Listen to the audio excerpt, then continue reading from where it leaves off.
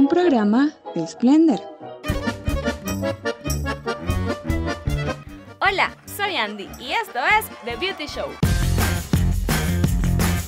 ¿Sabías que literalmente los adolescentes no escuchan regaños?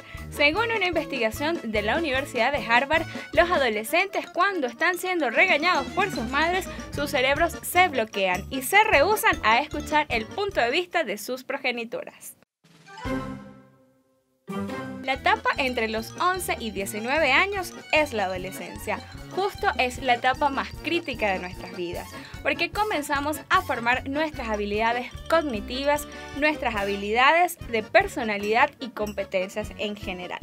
Dependiendo de cómo hayamos superado esta etapa, va a ser significativa en nuestras vidas. Cuando estamos en este punto crítico de nuestras vidas, comenzamos justamente a una especie de periodo de autoexploración.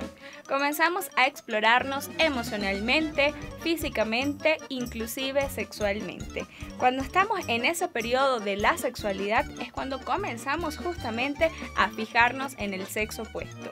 Comienzan las modas, comienzan la coquetería y muchas de las cosas por las cuales ya nosotros hemos pasado. Pero justamente lo más complicado en este tema es cómo enfrentar la sexualidad. Cómo prepararnos para ese primer encuentro, que en la mayoría de los casos ocurre justamente en la etapa de la adolescencia. Estar consciente del paso que vamos a realizar y sobre todo tener la conciencia plena de las consecuencias que pueden traer el primer acto sexual. En conclusión, Cualquiera que haya sido nuestro caso, lo más importante es concientizarnos y llevar una vida sexualmente saludable, evitando la promiscuidad utilizando métodos de protección. De esta forma podrás estar más saludable por dentro y por fuera.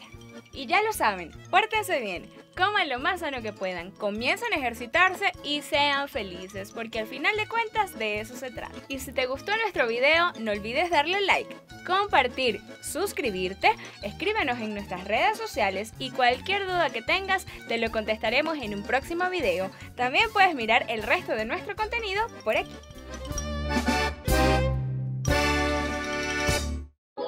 Un programa de Splendor.